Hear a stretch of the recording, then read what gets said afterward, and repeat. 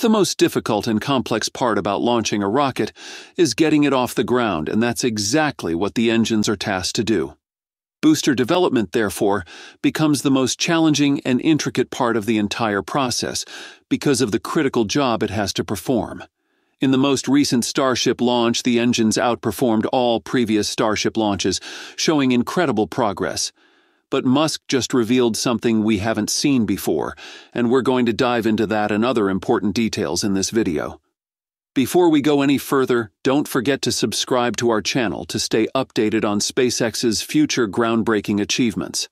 The first stage of the mission, the liftoff, involved all 33 Raptor engines firing simultaneously.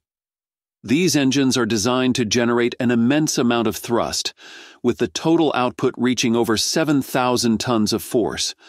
To put that into perspective, the Saturn V rocket, which held the record for the highest thrust for decades, produced around 7.6 million pounds of thrust during launch.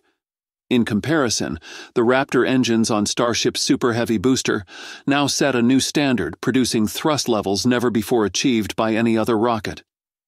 When all 33 engines ignited, they generated the necessary force to lift the 5,000 ton Starship vehicle off the ground and propel it into space. This initial phase is the most critical because the engines must overcome Earth's gravity and get the rocket moving. At full throttle, the engines work together to push the vehicle into the atmosphere at an incredible speed. Despite the immense weight of the rocket, the coordinated power of the 33 engines allowed it to lift off smoothly and efficiently.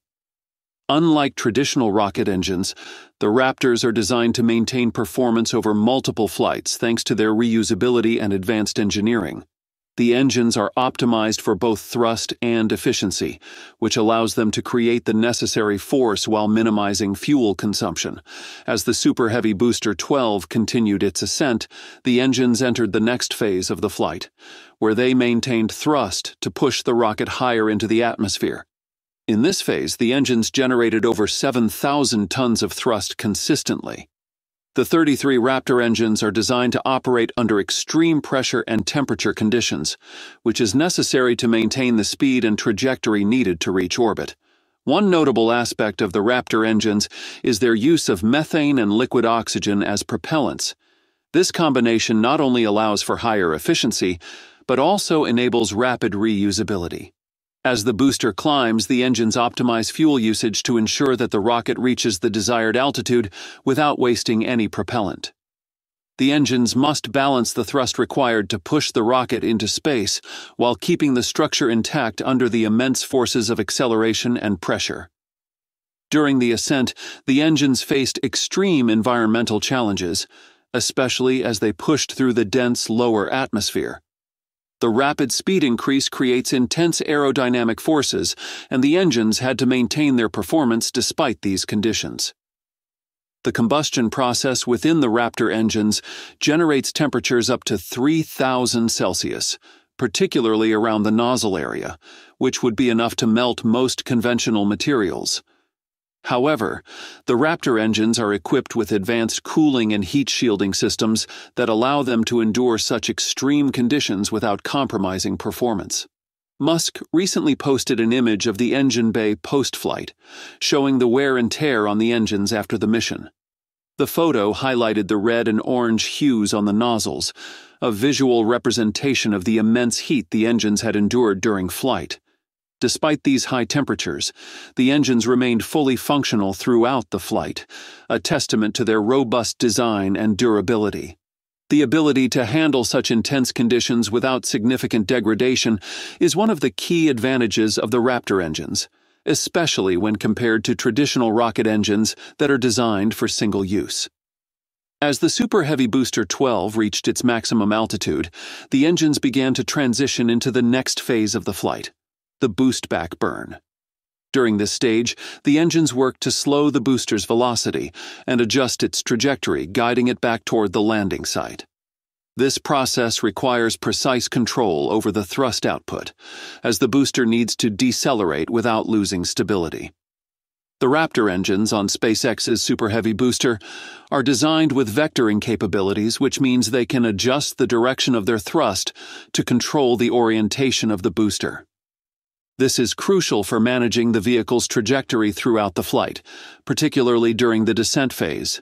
Instead of falling freely back to Earth, the engines can throttle up or down as needed, providing the control necessary for a safe and precise landing. During the descent, especially in the moments just before the catching attempt, there were visible flames coming out from the booster. This occurred around T plus 6 minutes and 30 seconds into the flight. The fire and glowing appearance at the bottom of the booster are caused by the intense heat generated from the engine thrust and the high speed interaction of the vehicle with the atmosphere.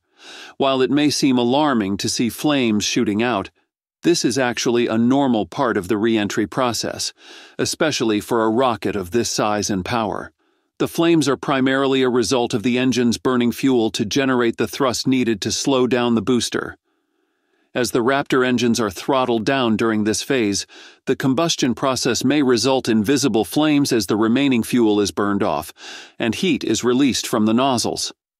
Additionally, any remaining residual fuel or gases within the engine bay can ignite upon contact with the hot surfaces of the booster, creating the fiery visuals. While this may look dramatic, it's a normal and expected phenomenon, especially considering the high temperatures and forces involved in the descent. SpaceX engineers are aware of these effects, and the booster is designed to withstand them without damage. The flames are not indicative of any malfunction. Rather, they are a byproduct of the incredible heat and energy involved in decelerating the booster from such high speeds. As the booster continued its descent, the final stage involved the activation of the three inner gimbaled engines. These engines, designed for precision, took over when the booster was about one kilometer from the landing tower. Their role was to finally control the orientation and speed of the vehicle, ensuring that it aligned perfectly with SpaceX's chopstick system for a mid-air catch. The gimbaled engine's vectoring capabilities allowed the booster to make small adjustments to its position, ensuring a smooth and controlled descent.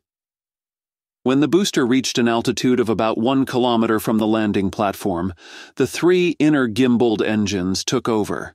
These engines are designed for precision, using their vectoring capability to make adjustments to the booster's position and angle. This ensures that the booster aligns correctly with SpaceX's chopsticks system, a unique mechanism that catches the booster in midair instead of allowing it to land directly on the ground. This method helps reduce damage to the vehicle, making it easier to refurbish and reuse for future flights. The Raptor engines stand out from other rocket engines due to their technical design and advanced capabilities. These engines use methane and liquid oxygen as propellants, which offers advantages like cleaner burns and higher efficiency. This reduces residue buildup inside the engines, making them easier to maintain and reuse. Another key difference is that Raptor engines are specifically built for reusability. Unlike older engines, which are typically single use or require significant refurbishment, Raptor engines are designed to be reused multiple times, this reduces the time and cost needed between missions, aligning with SpaceX's goal of lowering the overall cost of space exploration. For those who didn't see the Starship launch in person, I've got a surprise. You can still experience it with a realistic Starship model made just for our loyal viewers. Since you've watched this far, we know you're one of them. Head to the link in the description to grab yours now and relive space history. Thanks for watching and we hope to see you in the next video.